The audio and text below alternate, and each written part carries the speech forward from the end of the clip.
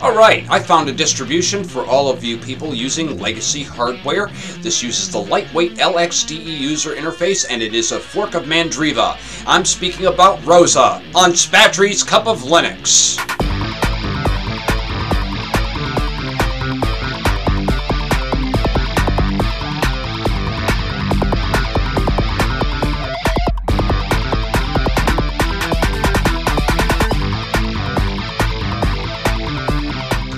Talk about a really nice looking lightweight operating system for legacy hardware. We are looking at the Russian uh, distribution called Rosa. Now, um, let me give you a quick rundown of what we're seeing here on the screen. We've got our basic desktop here, and uh, down here you have a logout option, your time, your network, uh, volume control, your clipboard monitor. Uh, this is set for United States English. Um, and then of course a direct link to your downloads folder and a link to your documents folder is included here. Okay, you can iconify all windows by clicking here. You get the LXDE Control Center, Catfish, your file search. You also have um, Firefox, a LXTerminal, and your PCMan FM file manager. We'll have a look at that in a moment. But first I want to show you the uh, control center. I thought this was really nice how they put this together.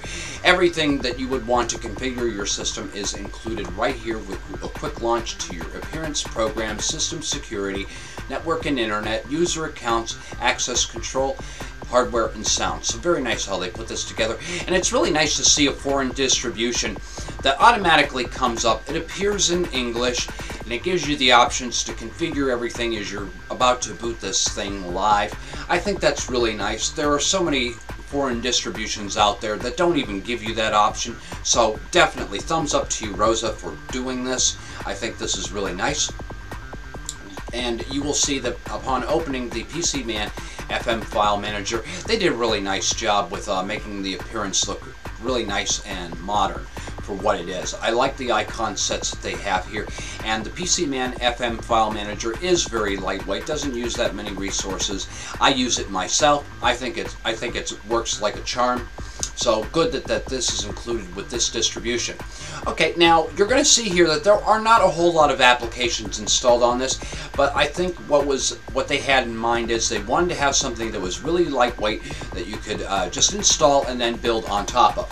But you do get a few accessories, a calculator, you get the terminal Leafpad, which is a very lightweight text editor, Parcellite, and Xarchiver and graphics. You get just get a simple image viewer. So if you want the GIMP or something to do some real uh, hefty image manipulation and that sort of thing, you'll have to go into the software center to get those.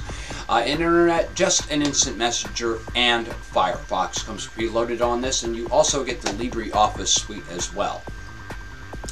Uh, and then, there, of course, there's a quick link to install and remove software.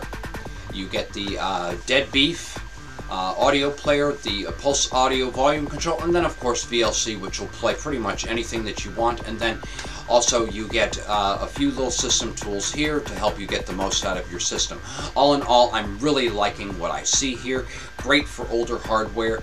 Uh, so if you're looking for, so if you have an old Windows computer that that you're ready to toss out the window, put it to work for you, slap this on there um, and make that computer work like brand new again. Well, that's all I have on this distro. If you have legacy hardware, definitely check this one out.